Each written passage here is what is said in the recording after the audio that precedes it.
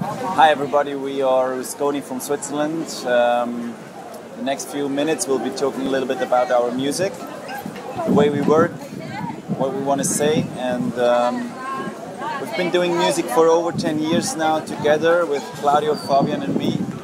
And we have changed quite some things over the years. Um, our fifth record is going to come out soon in March 2012 and uh, for us it's really an important step um, also reason why we named it revolution.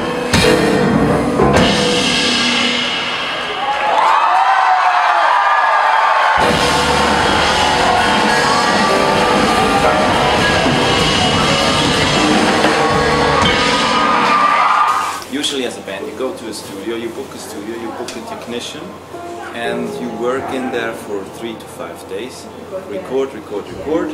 It's all a big big stress sometimes messed up some, sometimes very good but it's a very short amount of time and in this amount of time you have to do the record of the century. But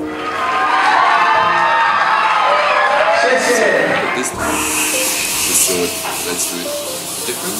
We had a chance to go to Boston for two weeks the musical house in Basel, we um, had a chance to have a big uh, room where we could uh, installate everything. So Johannes Kunke is a technician from Basel.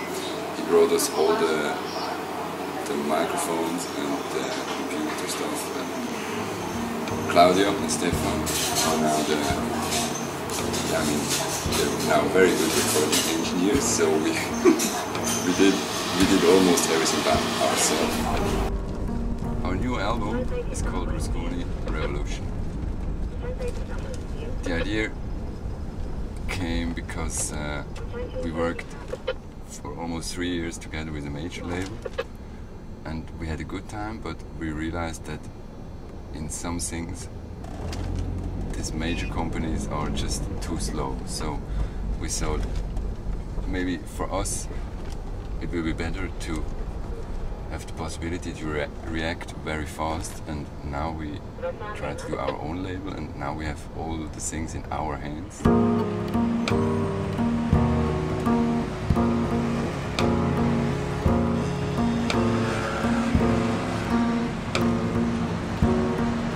We'd like to have a CD to sell on live concerts exclusively but in the meantime, there will be a free download of the whole material in best quality. We'd like to spread our music. We, we, we, we want people to listen to our music.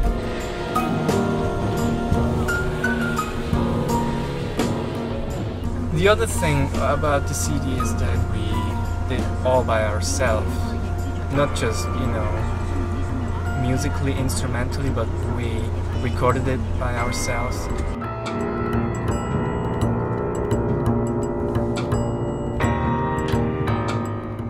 We mixed the whole CD ourselves. We never done that before actually. And we mastered the CD and even the artwork was made by by Stefan and an artist from Berlin called Paul Polaris. After concerts, when we sell CDs, um, you, feel that the audience uh, wants to buy CDs and they think they would they would like support us, the musicians, but that wasn't reality, not at all.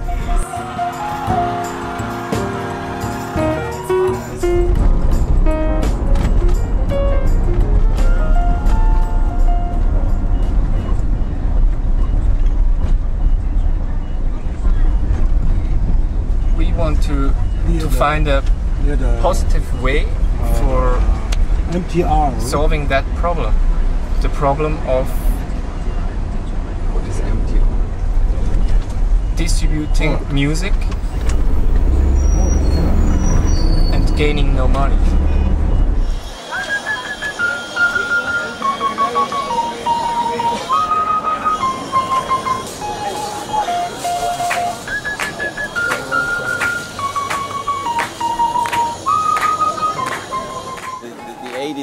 The, the, the 80s musically they were they were a period of music where a lot of very crazy and, and, and emotional experiments happened and we are really taking this in, into our music.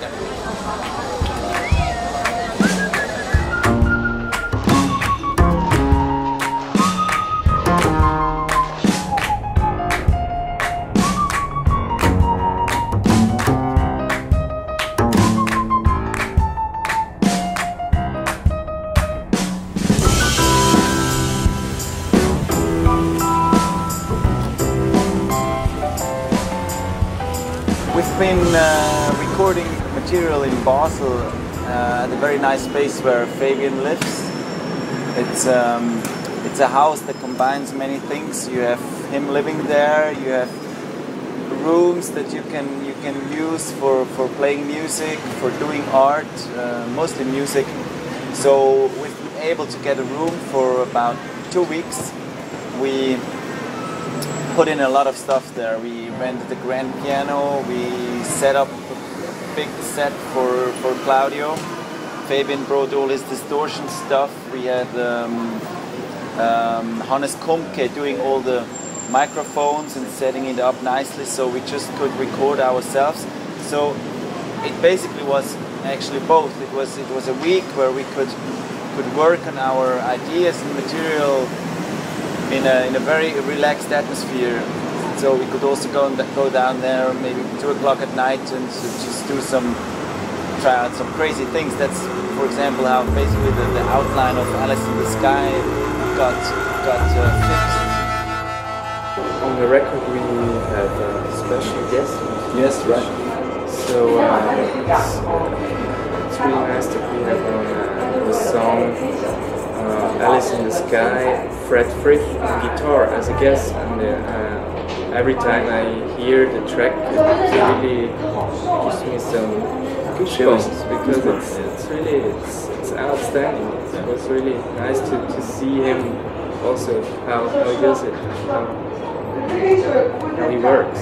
It's a really nice, really nice version of it.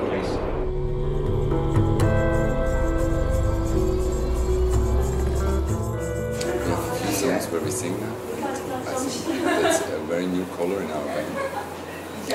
We never, we, we, we didn't do that on, on the last record. But what we still do is, is a lot with uh, preparation and we're still looking for new sounds. Um, Stefan is still working with some different stuff in the piano. Also, for my part, I try to find some new sounds on bass with distortion and feedback even more than one year ago. We try to, to do some noise also and keep always, I think, a little bit groove. I think groove is very important for us. Mr. Bagby. No, we, we have a lot. We have a lot of backbeat, but, but not always. Um,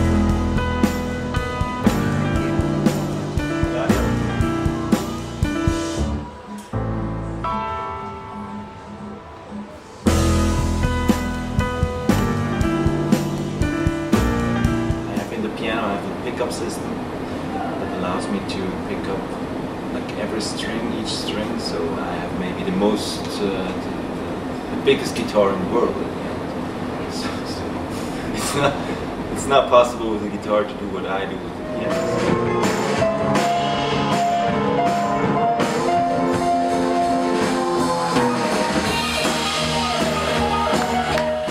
It's hard to find the proper words to any music, I think, but I think the expression improvised pop is well chosen because uh, in our music you always find spots and you have the space to play what you feel immediately. So You really can improvise in it.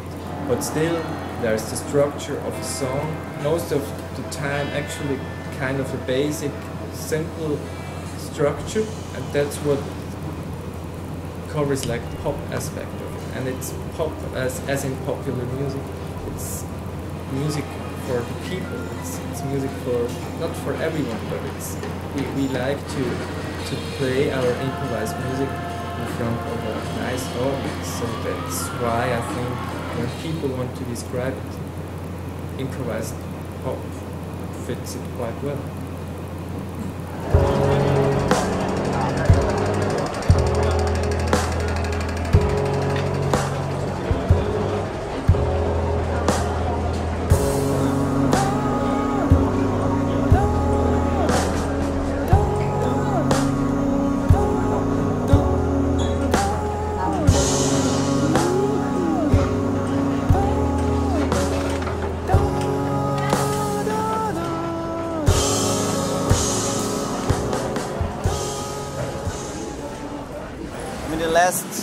Three years we felt that many things are not the way we wanted, like around ourselves. We, we felt that the way sometimes our music got promoted or the way we couldn't we really like it to be to be free to, to decide what we want to do so with a big record company you're not as free as you do it all yourself i mean, I mean you you can play a concert with a with a radio broadcast live just like this. You have lots of contracts that need to be signed.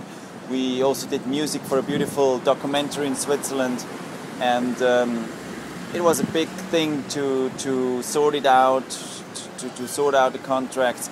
We have been banned on YouTube with some great material we actually produced, put in a lot of money. So yeah, the situation for us was not right anymore. So we needed to change things, and we. I think that's also the active part where we took really initiative and said, okay, we have to do it ourselves again. We have to find out. We have to found our label. We have to produce our own material, our own ideas as we wanted. So now we, we can do download for free we can sell CDs at concerts. We want to do a beautiful vinyl record, and that's why, also that's why, it's called Revolution.